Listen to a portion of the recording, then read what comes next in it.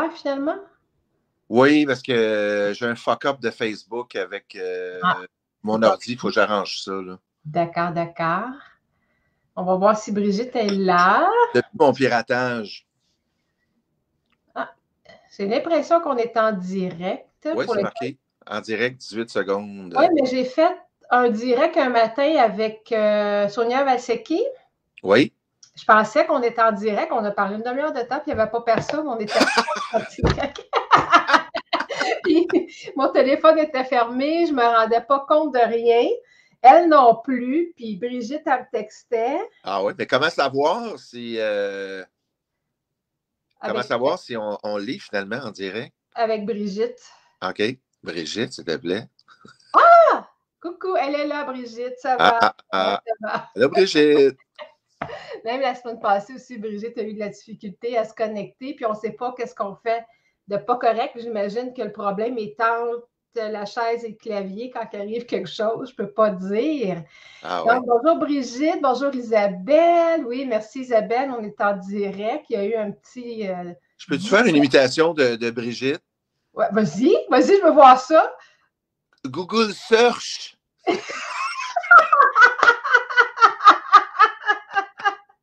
Allez sur Google Search. Brigitte, il se pète à tronche ce matin. Ouais, ouais, mais c'est amical. Oui, oui, oui, non, je le sais, je le sais. Comment ça va, René, ce matin? Ah, ça va super bien. Ah, Oui. tu peux prendre une gorgée de café. Un petit peu fatigué, là, mais ouais, je vais prendre une petite gorgée de café. Ça va bien. Tu me disais qu'il était tôt pour toi ce matin. Brigitte disait, tu, elle t'a dit tu es rudement moqueur. On aime ça, on aime ça. Hey, contente de t'avoir avec euh, moi ce Ben, matin. moi aussi. Tu me sors de ma zone de confort en parlant sport. C'est vraiment pas un domaine pour lequel je suis. euh, euh, j'ai nécessairement des affinités. Je suis plus dans le monde des chats que du sport, mais on parlait avant de commencer le live. Puis euh, tous les grands noms que tu mentionnais, bon, je les connaissais. Peut-être pas autant que toi, là, mais je les connaissais. Parle-nous de, ben, rapidement de toi, parce que j'aimerais ça qu'on voit tes œuvres sous un angle déco, comme on a commencé à faire la semaine passée. Mais j'aimerais aussi que tu nous parles du tape art rapidement, comment ça fonctionne, s'il te plaît? Ben, c'est ça. Moi, je suis euh, artiste peintre euh, depuis 2014, professionnel. Euh, puis, j'ai commencé à peindre en 2010 euh, à l'acrylique et euh, à un moment donné, je préparais, je commençais à préparer une exposition en 2012 euh, sur les gardiens de but au hockey. C'était un sujet que je voulais euh, développer, surtout au niveau vintage. Puis, euh, j'ai, euh, en cherchant des, des fournitures euh, artistiques, à un moment donné, en allant faire aiguiser mes patins après ça, dans une boutique de sport, j'ai vu un paquet de rondelles qui étaient alignées, euh, des rondelles de, de, de, ruban de hockey, communément appelées tape. Et euh, j'ai eu l'idée d'utiliser ça pour, euh, pour faire des toiles. Puis là, c'est là que ça a commencé. En- donc, on parle de début 2013, euh, janvier ou février 2013. Puis là, j'ai expérimenté. Puis depuis ce temps-là, c'est ça. je fais, une technique que j'ai développée. Et euh, maintenant, je travaille surtout euh, avec le, le- le ruban sur des toiles de bois, des panneaux de bois. Et euh, je peins encore à l'acrylique et je combine aussi les deux. Donc, je combine le ruban et le, le- le- la peinture acrylique parce que ce qui est intéressant avec le ruban, c'est que j'utilise un ruban qui est comme de la toile, c'est comme du canevas parce que le, le- le- le ruban qui est utilisé pour mettre sur les palettes de hockey, c'est tressé. C'est tressé comme un canevas. Alors, on peut peindre par-dessus facilement. Euh, la peinture adhère euh, très facilement, puis ça sèche quand même assez rapidement. Donc, euh, voilà. OK. Donc, euh, juste de voir ta photo de profil qu'il y a sur notre site, puis que j'ai vu à quelques endroits là, sur tes réseaux avec ton hockey, tes rouleaux, ça, ça en dit long, ça l'exprime bien, ça l'image bien Ouais. ce que tu fais et qui tu es. En fait, j'ai commencé à faire du sport avec ça, mais je fais un peu de tout. Euh, je sais que vous avez euh, entre les mains là, une toile de, de- de la Joconde. que j'avais fait en tape, justement. je fais un peu de tout. J'ai fait des toiles d'Expo 67. J'ai des commandes. je, viens, je viens de finir des, des voyageurs en vélo en Alsace. Puis c'est fait ruban et peinture. Donc, je ne me limite plus seulement au hockey ou au sport malgré que ça reste quand même le, le, core, si on veut, ou l'élément principal de ma production. Mais euh, à un moment donné, je me suis posé la question, je me suis dit, euh, est-ce que ça doit rester... Euh, bon, c'est pertinent au hockey là, et au sport, le, ruban de hockey, mais est-ce que je dois le, le contraindre ou, le réserver uniquement à ça, à ce domaine-là? Puis à un moment donné, j'ai eu un breakthrough, j'ai eu une percée, j'ai discuté avec euh, une amie artiste qui est, euh, qui, est euh, Iris Scott, qui elle peint avec les doigts, une, artiste américaine que je suis en contact avec. Puis elle m'a dit non, elle dit justement, elle dit, je suis allé voir de tes toiles qui ne sont pas nécessairement au niveau des sujets de hockey, puis euh, je les trouve très intéressantes. Alors, je ne vois pas pourquoi tu devrais te limiter seulement à ça. Alors, c'est pour ça que j'ai commencé vraiment à, travailler différents sujets autres que le hockey et le sport. Mm-hmm. Mais même si on n'est pas comme moi, nécessairement amateur de sport, j'ai une de tes toiles derrière moi, reproduite sur euh, métal sublimé. Puis c'est superbe. Je peux pas. Ouais, c'est c'est ça, le lancer. Je ne peux pas renier le fait, le détail que tu as mis à l'intérieur. Les gens ont l'impression de toujours être accompagné dans mon bureau, puis pourtant, je suis généralement seule. J'ai le sentiment de la foule. oui, bien, ça, c'est un sujet qui m'intéresse beaucoup. Euh, je suis en train de faire une, euh, Beatlemania, qui est, qui est euh, une toile des Beatles. En fait, on voit les Beatles de dos, puis les Beatles ne sont pas vraiment le sujet de la toile, c'est plus la foule qui est face à eux. Puis ça nous donne vraiment l'intensité que pouvaient ressentir ces gars-là sur la scène, alors qu'il n'y avait pas d'éléments techniques très développés, mais euh, la, foule est vraiment un sujet qui m'intéresse. Euh, j'essaie de, reproduire dans des moments historiques, parce que moi, j'aime beaucoup l'histoire, j'aime beaucoup tout ce qui est socio-historique, euh, puis rattacher des, faits historiques à ce que je fais. Puis je te dirais qu'avec les, des, éléments de foule, je suis capable d'aller chercher ça. Puis ça, m'intéresse beaucoup. De, À un moment donné, je faisais juste une personne, un visage, puis là, à un moment donné, deux, trois. Puis après ça, quand je faisais un groupe, justement, que cette toile-là, de, le lancer, j'ai tellement tripé à faire la foule en arrière que, que j'ai recommencé. C'est beaucoup de travail, mais c'est ça donne vraiment un impact. Euh, ça nous permet de voir différents. Euh, chaque personne, qu'est-ce qu'ils vivent. Euh, dans une foule, on regarde la foule comme une entité, mais quand tu regardes chacun des, personnes, euh, c'est le fun de sentir, bon, celle-là est plus dans sa bulle, l'autre est plus sociable. c'est intéressant de voir toutes les particularités humaines dans une foule. Isabelle te demande, est-ce que tu fais des visages avec le tape ou en acrylique? Euh, je fais les deux. Je fais des visages seulement en tape. Ça dépend. Euh, quand j'ai une commande, quelqu'un va me demander seulement de faire des, euh, des visages ou une toile en, ruban, en tape. Je vais, je vais, le faire juste comme ça. Mais je fais, j'en ai fait plusieurs avec, avec les deux techniques. J'ai fait Babe Ruth, j'ai fait. voyons, qui j'ai fait avec les deux techniques. J'ai fait Babe Ruth. En tout cas, j'en ai, j'en ai quelques-unes. Oui, c'est ça. Est-ce que tu permets, on va regarder ce que tu as fait, ce qu'on a choisi, nous, pour euh, Action Déco. Tu pourras nous dire de quelle façon tu l'as fait. OK. Puis voir comment on peut intégrer ça dans un décor. Attends une minute. Fichier, partager. C'est pas ça que je veux faire. Bon, je vais m'enfarge dans ma souris ce matin. J'arrive, j'arrive. Si, j'avais su, là, j'aurais pu t'envoyer des photos de mon décor à moi parce que euh, j'ai des toiles de sport dans un décor euh, vintage, là, tu sais. Euh, puis c'est pas. on pense souvent que les toiles de sport, de hockey, c'est réservé dans un man cave, dans un sous-sol. non. De gars qui boivent de la bière, puis pas nécessairement, hein, ça peut être. moi, j'en ai une de Maurice Richard, j'en ai une de Bobby Hull dans un décor tout à fait euh, normal de salon, euh, puis ça va très, très bien. Là, euh. Ben, c'est pour ça que je sais qu'on en parle, surtout toi, tu as un domaine très particulier, un sujet qui est très précis. Puis moi aussi, je le vois qu'on peut euh, adapter ça à tous les décors et interpréter aussi le sujet, pas juste, pas, juste une foule, pas juste un but, pas juste la glace, il y a autre chose au travers de ça. Mais si tu as des décors avec les œuvres qui sont sur Action Déco, je t'encourage à me les envoyer, on va les mettre sur le site. Oui, je te les enverrai. Puis, euh, exemple, la, toile, le lancer que tu as euh, derrière, euh, ça, va, ça va très bien dans un, environnement qui n'est pas nécessairement hockey. Exact. Moi, j'avais une dame qui était venue à une de mes expositions, puis elle, avait adoré mes toiles en, ruban. Puis elle avait dit, elle dit, moi, j'aime pas le hockey. Elle dit, je comprends rien au hockey, mais elle dit, tes, toiles me parlent. puis elle, elle me disait qu'elle aurait mis ça dans son environnement, même si c'est pas une, une adepte du hockey. Mais regarde, celle-là, c'est la foule, moi, qui m'attire.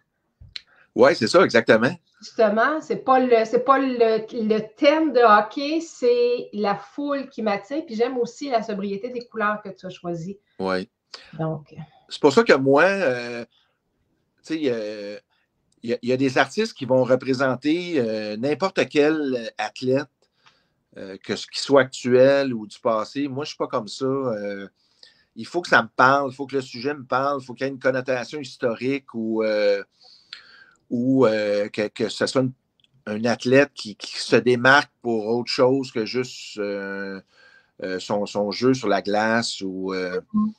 Fait c'est pour ça que quelqu'un qui n'aime pas nécessairement le hockey, mais il peut voir un regard dans un personnage qui, qui lui parle, même si ce n'est pas un adepte de hockey. Là, et je te dirais que ton but est atteint. S'il est atteint avec moi, il est certainement atteint avec d'autres personnes. Puis le témoignage de la dame que tu viens de mentionner en est une belle preuve aussi. Brigitte, je ne sais pas, j'imagine que tu as mis le lien de René dans le clavardage. Donc, c'est la photo à laquelle je faisais référence tantôt. Oui. Donc, la page de René Bégin, vous avez des endroits où le joindre, son site Internet pour en voir plus, Instagram, Facebook. En passant, ce bâton-là, j'ai utilisé la palette que j'ai coupée, puis j'ai fait une peinture sur la palette. Ça a été ma première que j'ai faite, que j'ai remis à Jean-Philippe Bertrand, euh, animateur d'une entrevue que j'ai eue à TVA Sport. Ton, ton art, ton sport t'a amené parmi les, les, grands de ce monde là, en termes de télévision, puis à rencontrer des personnages mythiques aussi? Oui, oui, oui, j'ai été chanceux. Euh, je, te dirais, en, quelques années, j'ai eu beaucoup d'entrevues de, euh, télé, radio, euh, journaux, Internet. Je n'ai pas à me plaindre j'ai eu une belle, euh, une belle couverture médiatique euh, qui m'a aidé beaucoup. Mais comme je dis souvent à beaucoup de gens, euh, ça n'arrête jamais. Là, tu peux être sous les feux de la rampe pendant quelques, quelques heures, quelques jours, mais après ça, c'est le, le, artiste visuel, c'est pas évident. Hein. On n'est pas justement sous les feux de la rampe continuellement comme un humoriste ou mm-hmm. un comédien, un acteur. Il faut toujours faut toujours continuer à, se vendre. Puis, euh, moi, je dis toujours que si tu n'es pas représenté en galerie, euh, la moitié de ta journée, c'est la production, puis l'autre moitié, c'est la promotion. Exact. Tu n'as pas le choix. Moi, mes après-midi, mes fins de soirée, c'est souvent, euh, je suis sur les réseaux sociaux. tu n'as pas le choix, il faut que tu mettes le temps. Il faut qu'un artiste comprenne, un artiste professionnel, que tu es un entrepreneur quand tu es artiste. Euh, Tout à fait. Moi, j'ai eu la chance d'être à mon compte. Euh, ça faisait 23 ans. Euh, ça fait 23 ans que je suis à mon compte comme consultant en graphisme publicité. Alors, ça m'a aidé à être organisé, planifié. Mais il ne faut pas penser que même si tu as du talent, que ça va tomber du ciel. Il y a beaucoup, beaucoup de travail, de développement à faire à se vendre euh, continuellement, continuellement. Il n'y a jamais rien d'acquis. Exact. Puis euh, c'est toujours, toujours à, refaire. Mais c'est sûr qu'à un moment donné, euh, on, a, de plus en plus de travail, tant mieux, tu sais, mais c'est quand tu veux faire ça, il faut que tu t'y mettes. Là, puis moi, en étant déjà à mon compte, ben, ça m'a donné une bonne, une bonne première poussée là, pour continuer. Exact. Ça prend une certaine discipline et de la volonté. Mais quand on aime ce qu'on fait et qu'on veut vraiment percer, mais on y met les efforts requis. Ça, ça en vient du plaisir, même si des fois on trouve ça peut-être euh, difficile. Est-ce que tu veux commencer par une, œuvre en particulier? Dans ce que tu me montres? Oui. Euh, ben, tu vois celle de Murray Bannerman. Euh, Qui est? En fait, c'est. Ben, j'ai changé le, titre de cette œuvre-là. C'est.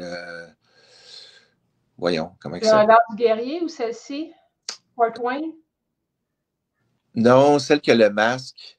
Ah, ici. Oui, ça, c'est ma première toile en, en ruban. Puis en fait, je ne travaillais pas sur panneau de bois dans ce temps-là, fait que, euh, elle a été faite sur Canva.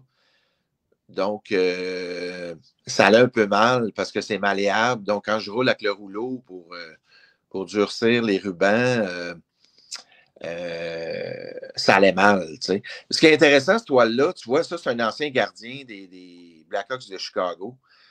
C'est même pas un bon gardien de but, c'est un gardien remplaçant. Puis, mais je trouvais tellement son regard particulier avec le masque. Euh, j'ai toujours pensé, ça me faisait penser à, du théâtre japonais. Puis ah, c'est l'impression que j'avais quand j'avais vu ça la première fois. Fait que j'ai dit, faut, faut, faut, que je représente ça. Puis ça, c'est vraiment la première toile que j'ai fait en ruban. Et euh, je trouvais le masque très intéressant, le regard, tout ça.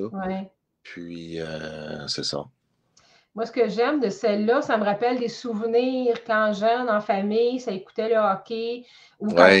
à la télévision, justement, des... Quand, le hockey était bon. Je sais pas si là, mais ça se dit que le hockey, il y a une époque où c'était peut-être euh, meilleur. Puis c'est c'est ce type de personnage-là qu'on voit. Moi, ça me ramène à ça, à une époque qui est complètement révolue aujourd'hui et j'aime ça. Ça, c'est encore un bon exemple de, toile, oui, qui est un sujet de hockey, mais qui pourrait aller dans un décor contemporain. Est quand même très sobre. Tu, pourrais mettre ça dans un décor très, euh, très moderne, euh, puis ça marcherait. Là. Brigitte a mis ça dans, un bureau très épuré. J'adore. Oui, exactement, ça fonctionne. Puis, Brigitte, euh, pas Brigitte, excuse-moi, Isabelle, est-ce que tu te bases sur une photo pour faire ta toile? Euh, souvent, oui. Mais je vais souvent retravailler la photo. Je vais, euh, je vais faire un montage. Je vais, je vais retoucher la photo, puis rajouter quelque chose ou changer quelque chose. mais je vais souvent me baser sur une photo mais je n'hésite pas à modifier. Euh, c'est très rare que je prenne une photo et que je la fais identique. Euh, très rare. Puis euh, quand c'est des photos récentes, je demande les droits. Là. Comme là, je vais en faire une, c'est une primeur, là, mais je vais en faire une qui représente Marie-Philippe Poulain, gagnante de l'équipe féminine, ben, qui était capitaine des, femmes aux Olympiques à, à Beijing. Puis j'ai demandé les droits. Euh, sur la photo au photographe Martin Chamberlain, euh, puis de la presse. Puis j'ai obtenu les droits de lui et de la presse. Alors, euh, je peux l'utiliser. Donc, sinon, mais je passe souvent d'esquisses aussi. Je fais des esquisses. moi, je travaille beaucoup dans Photoshop. Comme j'étais consultant en graphisme, publicité, je connais les logiciels par cœur. Puis, Photoshop, je prépare souvent mes maquettes là-dedans. Donc, ça peut être en partie photo, en partie esquisse je retouche ça dans Photoshop. Après ça, euh, je vais imprimer ça, puis je vais m'en servir ou je vais mettre ça sur ma palette. Euh, puis je vais, euh, je vais m'en servir pour, pour tracer ensuite sur la toile. Puis est-ce que tu fais des croquis en live pendant un match? Je ne sais pas qui pose cette question-là. Je ne vois pas le nom, mais c'est une belle question. ça arrive des fois que j'écoute une partie, puis je vais, euh, je vais faire des croquis ou je vais prendre des photos euh, de mon téléphone sur l'écran, euh, un, print screen, puis après ça, je, vais faire des esquisses après ça par rapport à ça. Mais ça arrive. Oui, ça arrive. C'est une œuvre qui est assez grande. Originalement, c'est une 36 par 48. Pour nos amis français, vous avez des équivalences ici dans, dans la fiche. Puis celle-là, étant donné que le fond est déjà blanc ou du moins blanc cassé, là, ce que je vois à l'écran, oui. je la verrais vraiment sur aluminium blanc. Oui. Puis sûrement qu'il y a deux sortes de blanc. Euh, il y a le blanc euh, du ruban dans le fond. Puis quand on regarde le masque, il est comme blanc plus éclatant parce que j'ai laissé le blanc du canevas. Ah, OK. Il n'y a, pas- a de blanc par-dessus. Non, c'est ça. Fait que c'est vraiment le blanc du canevas, donc le, le- qui est beaucoup plus euh, étincelant. Alors, c'est l'idée des deux blancs contrastants. Puis donc, c'est un, un beau contraste. Ouais. Merci. N'hésitez pas à commenter dans le clavardage. Je n'ai pas pu saluer tout le monde. là. Je suis captivée par les paroles de René. Donc, n'hésitez pas à commenter. Peut-être si vous avez des, idées de décor ou d'ambiance pour les œuvres de René. Tu voudrais aller avec laquelle ensuite, René?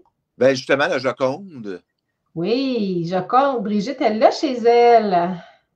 Ah oui. La Joconde. C'est mon frère qui a l'original. Ah oui, OK. Ouais, ouais. Elle n'est pas grande. J'ai essayé de la faire le même format que le- la vraie, à peu près. Là, je pense qu'elle est euh, 18 par 24, quelque chose comme ça. Mhm. Euh, moi, la Joconde, pour moi, c'est, oui, c'est comme un symbole de la peinture, la Joconde, je le sais, elle est très euh, médiatisée, reprise d'un million de façons. Fait que moi, je l'ai repris en, en tape, c'est Mona une tape. Euh, cette toile-là, il n'y a aucune peinture dessus, c'est uniquement fait en ruban de hockey. Donc, ça, c'en est un Ah exemple, il n'y a pas de peinture. Ah oui. chaque, chaque couleur est un morceau de ruban découpé, collé un côté de l'autre.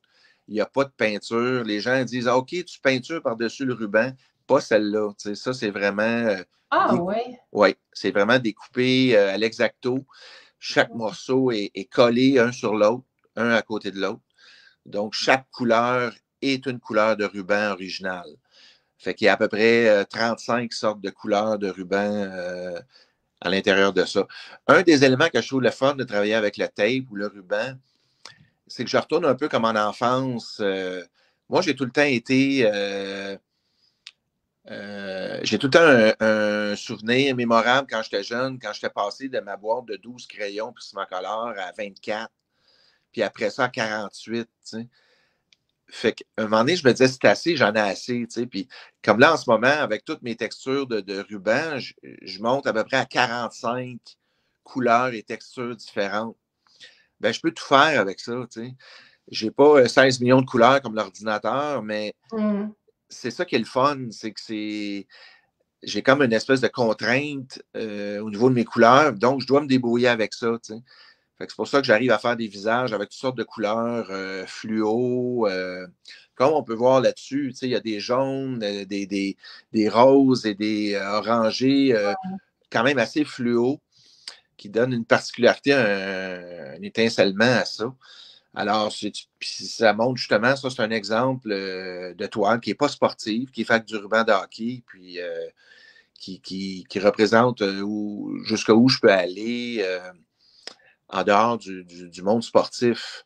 C'est une Ben- technique qui s'applique euh, sur n'importe quel sujet. Puis la particularité du ruban de hockey, ben ça, ça montre mon origine, québécois, canadien, où est-ce que le hockey est né.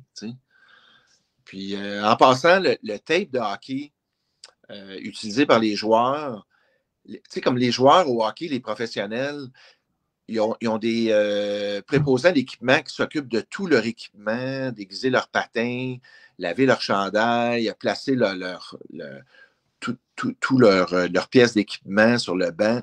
Mais tout sauf les bâtons. C'est les joueurs qui s'occupent de, leurs bâtons, de les taper, de, Alors, de, de- de- de préparer la palette en, en courbant, en chauffant.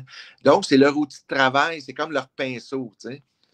Fait que Ah, moi, c'est un petit peu euh, une représentation de ça en utilisant le tape. C'est comme si c'était mon. Je représentais l'outil des joueurs, tu sais. OK. Puis j'aime le fait, il y a comme une certaine fierté pour l'acquéreur, soit de ton original ou d'une reproduction, de dire, ben l'original à la base a été fait avec du tape de hockey qu'on Oui. n'imagine pas du tout pour un sujet tel que la Joconde. Puis il y a quelqu'un qui dit, euh, j'aime vraiment ta Joconde, je ne savais pas qu'il y avait autant de couleurs de tape. Moi non plus. C'est quelque chose que j'ai découvert avec toi. Là. Puis moi qui aime la, la couleur, ça donne, ça donne le goût de s'y mettre.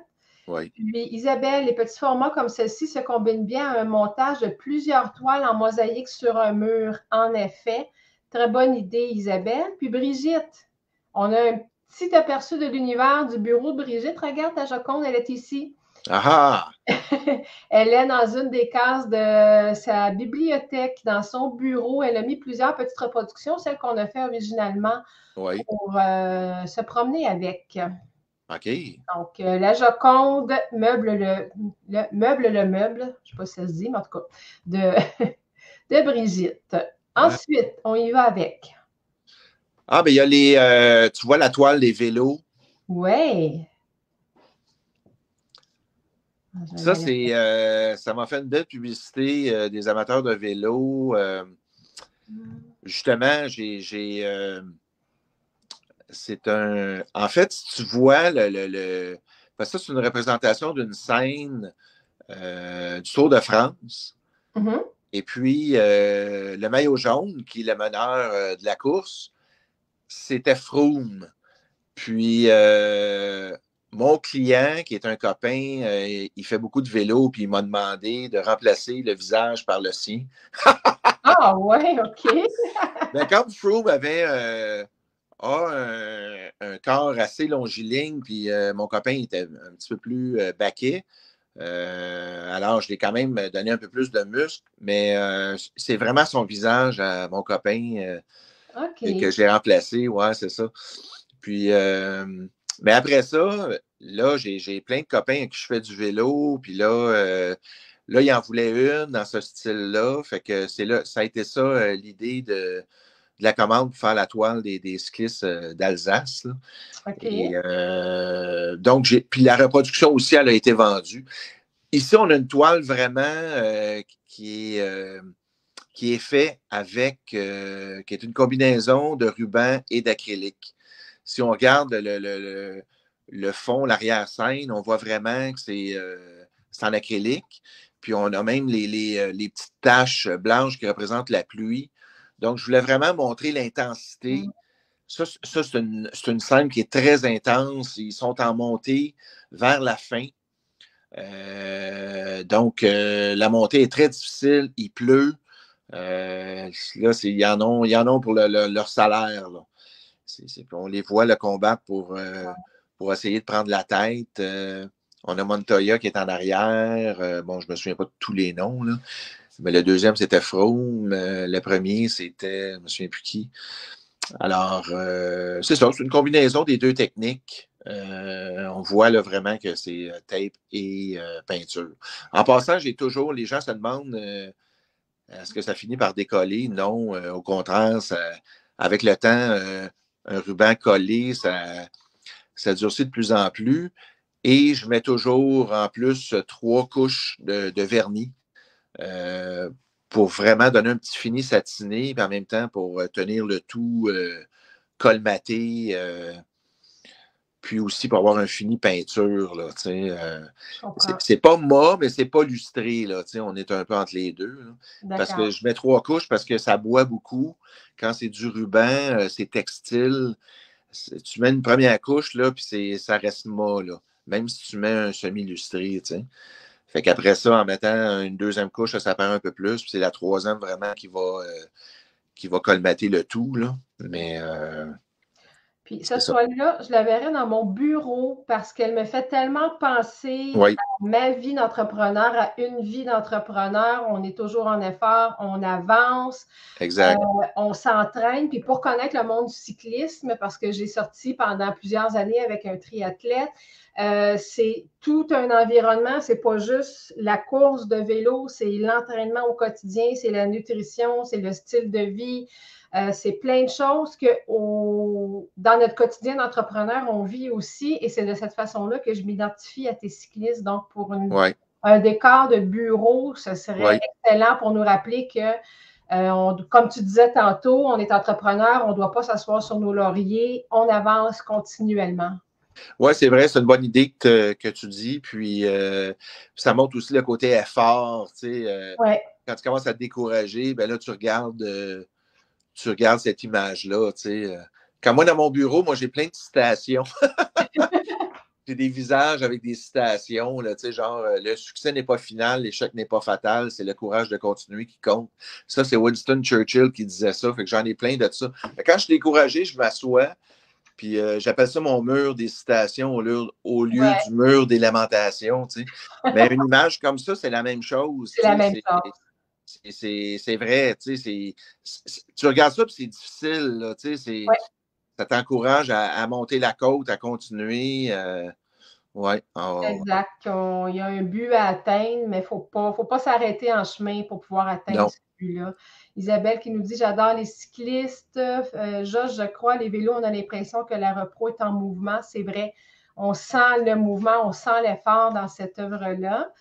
Euh, Roger, quelle belle façon de commencer une journée fascinante. Puis, c'est vrai, en Alsace, ça monte. C'est vrai, c'est vrai. Ouais. c'est vrai. Déjà fait une petite incursion en Alsace. Est-ce qu'on continue avec euh, le lancer? Ah, il en restait une en arrière. Il en restait une en arrière? De, euh, redirige-moi, excuse-moi. Ah non, OK, il y a le lancer qu'on pourrait regarder, oui. OK. Tu as commis un doute tout à coup sur. Non, c'est euh, parce qu'il y en a une cinquième qui est. Euh, oui, bien, le lancer, on en a parlé un peu tantôt. Je vais la montrer. On va terminer par l'autre. Donc, le lancer, moi, je l'appellerais la foule, étant donné que je ne l'associe pas personnellement au, euh, au hockey. Et cette œuvre-là, sincèrement, l'acrylique serait le support le plus approprié parce que tu as un effet de profondeur, même si ton fond est sombre, tu as un effet de profondeur qui est là. Donc, on viendrait vraiment euh, chercher en totalité avec euh, l'acrylique. De toute façon, euh, c'est beaucoup trop long faire ça en tape. Là, J'imagine, hein? Pour le format, parce que ça, c'est 48 par 48, je ne ferai jamais ça juste en tape, à moins que ce soit une commande spéciale. Mais non, non, ça ne vaut pas la peine. Euh, puis euh, j'en ai fait des toiles euh, en tape, en ruban, avec des foules, mais jamais cette grandeur-là. Là. C'était plus un 18-24 ou un 24-30 au maximum. Là. Mais, mais ça, en fait, justement, c'est un moment socio-historique parce que c'est juste avant que le masque soit, soit porté en ligne nationale, parce qu'on voit Andy Badgate j'ai transformé une photo, en fait, qui est existante de Robert Zimmerman, un célèbre photographe de Sport Illustrated, qui avait représenté une scène, euh, justement, pendant un match des Rangers, le Canadien, en 57. Moi, j'ai repris ça comme, euh, comme le moment où le masque a été inventé, le 1er novembre 59. En fait, le masque existait déjà, les gens ne savent pas, mais les, les gardiens de but à l'époque portaient des masques pendant les pratiques. Euh, comme Terry Sawchuk, euh, Jacques Plante, tout ça, mais ils ne les portaient pas pendant les matchs. C'était euh, c'était pas admis par la Ligue nationale. Et à ce moment-là, Jacques Plante avait reçu un lancer d'Andy Badgate, puis on l'a déjà vu dans une publicité assez célèbre. Là, puis, puis là, il a été sonné. Une, rondelle directement au visage, puis il y a eu de multiples points de suture.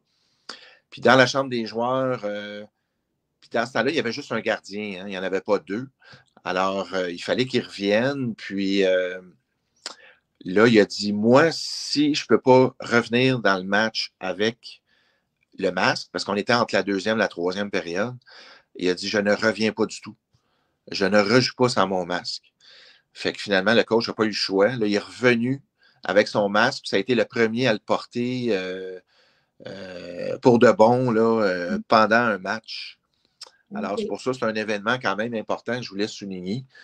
Puis, euh, on voit Plante dans ses derniers moments avant, avant de porter son masque. Mais c'était aussi l'idée de qu'il y a comme deux, deux mondes. il y a le monde sur la glace, mais il y a le monde dans les estrades. Puis c'est. Je, peux te dire que cette toile-là, là, chacun des personnages en arrière j'ai pensé à eux autres, je leur ai créé une vie. Des fois, je leur trouvais mm. un nom. non, non, c'était flyé. Là, Je rentrais dans leur monde, j'imaginais euh, qu'est-ce qu'ils vivent, euh, qu'est-ce qu'ils vont faire tout de suite après le match. Euh, c'est flyé, là, c'est drôle. Puis je me souviens aussi des musiques que j'écoutais quand je faisais ça. Puis, ben, C'est peut-être pour ça qu'on sent leur, leur, énergie à ces gens-là, à cette là Je sens qu'ils sont comme s'ils étaient présents à la maison. Exactement. Derrière moi. Donc, c'est probablement à cause euh, de ce que tu racontes actuellement que ça s'est transposé, ça, s'est transmis à tes, à tes Une foule, tu as l'avantage aussi de faire bouger une scène immobile. Oui, tout à fait. C'est ça l'avantage d'avoir une foule. Euh, ça devient quasiment de l'art optique. C'est bien dit, de l'art optique, j'aime ça. Ben, c'est une sorte d'art qui existe des années 60, où est-ce que euh, fin 50, début 60, où vraiment tu avais des, éléments euh, géométriques qui faisaient bouger ta toile.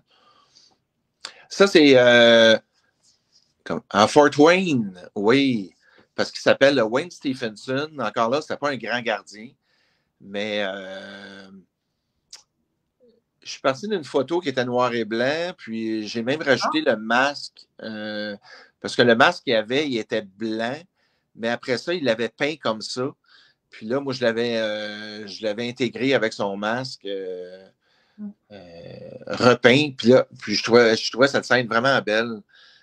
Puis euh, ça, c'est vraiment une représentation totalement en ruban, un peu comme la Joconde. Euh, On le voit ici, là. Dans... Oui. c'est juste du ruban. Le vert, c'est des rubans verts, orange. Euh, ouais. Puis le rose, le blanc. Donc, c'est tout, tout, tout des morceaux de ruban collés un sur l'autre. Puis cette fois-ci, j'avais utilisé. Non, j'étais encore sur une toile là-dessus. C'était pas sur un panneau de bois. Oui. Puis tu vois, il y avait eu, à cette époque-là, euh, je n'avais pas commencé à faire ça sur des panneaux de bois. Puis euh, ça, c'est un autre ami qui m'a acheté ça. Puis euh, les rubans avaient commencé à décoller un moment donné parce que c'est la seule toile que je n'ai pas vernie. Mmh. Dans ce temps-là, je ne les vernissais pas. Puis finalement, mon copain l'a retapé comme faux, puis il l'a verni, mais le fait que c'était sur un canevas, ça collait moins que sur des panneaux de bois. Maintenant, je travaille toujours, toujours sur des panneaux de bois une œuvre comme celle-ci, juste en ruban, ça prend combien de temps à faire? Pas si long. Ça, ça m'a pris peut-être 30 euh, heures. OK. Quand même. Ça semble plus long quand on n'a pas la technique. Non. mais moi, ça me semble beaucoup plus long. Oui, mais si tu regardes comme faux, là, euh, c'est pas une de mes plus détaillées que j'ai fait. Donc, mm. elle n'était pas si longue que ça. 30-35 heures à peu près, je dirais. Quand même. C'est du travail. Cette œuvre-là, je la verrais dans un salon. Tu sais, pour les amateurs vraiment de hockey qui suivent les finales, qui s'y mettent, qui, où la Terre arrête de tourner, on voit ça quand, des. Je ne sais pas si j'ai le bon mot avec, avec les finales. Je la verrais vraiment dans un salon parce que ça, mène, ça amène la vie qu'on ressent à ces, ces moments-là du, oui. du hockey. Et en plus, une représentation typique de cette époque-là. Tu sais, euh, il n'y a plus un gardien qui fait cet arrêt-là comme ça. Aujourd'hui, c'est un style papillon. Sa, cuisse gauche serait sur la glace. Euh, euh, elle serait comme la, sa jambière de droite. Oui, oui, oui. Dans ce temps-là, il faisait appeler ça le grand écart. Puis, euh, tu vois plus ça aujourd'hui, c'est très rare. Mais c'était vraiment un arrêt typique des années 70 j'ai hâte de voir les décors que tu vas nous envoyer pour les œuvres qu'on a. Oui, oui, ça va vous donner un exemple, euh, justement, que ça peut être euh, placé euh, dans, un, dans un. Parce que j'ai refait mon décor, justement, avec du mobilier, un style mid-century, avec des meubles d'époque, années 60, 50, 60, puis ça donne vraiment une idée. Puis j'ai mis, j'ai incorporé des toiles de hockey. alors, puis ça marche très bien. On va regarder ça avec attention. On va les publier. C'est à titre de rappel, parce qu'il y a nommé beaucoup de noms qui disent probablement pas grand-chose à la plupart des gens qui sont ici, surtout de la France. Je vous invite à revisiter les interprétations. On a les dimensions qui sont ici traduites, euh, transformées en centimètres. Toujours la même chose, les formats. Le plus grand format, c'est la même chose euh, que l'original. On peut se le procurer plus petit ainsi que les finis. Puis Joss, tantôt, mentionnait, euh, puis je vais revenir sur celle-ci un petit deux minutes, même pas. Ah, le regard du guerrier, moi, je la verrais beaucoup en aluminium blanc, mais la face sur acrylique, il y aurait un bel espace ici, l'acrylique avec les crayons appropriés qu'on peut se trouver chez Bureau en. On peut écrire des citations dessus. Oui. Deux pour un, on peut écrire sur euh, l'acrylique et ça se nettoie bien. C'est vrai que ça, ça serait un bel exemple, euh, genre sur un aluminium avec le fond. Euh, ça, ça, ça, clasherait, ça clasherait, là, tu sais, ça, Tout à ça fait. sortirait euh, assez fort. Exactement. Donc, euh, peut-être un projet pour toi à, à venir si jamais. Donc, ben, merci de ton temps ce matin. Hey, c'est moi qui te remercie. Donc, euh, très beau moment passé ensemble. Tu as eu des beaux projets par le passé, des belles visibilités. Je sais que tu en as qui s'en viennent. Euh, Tiens-nous au courant de ça, Oui. qu'on puisse te suivre là, dans, dans ce qui s'en vient. Fait que je- on dit bonjour à tout le monde, soit bonne journée ou bon après-midi. Puis toi, je te garde avec moi encore quelques instants. Parfait. Mais merci à tous. Bonne journée à tous. Au revoir tout le monde.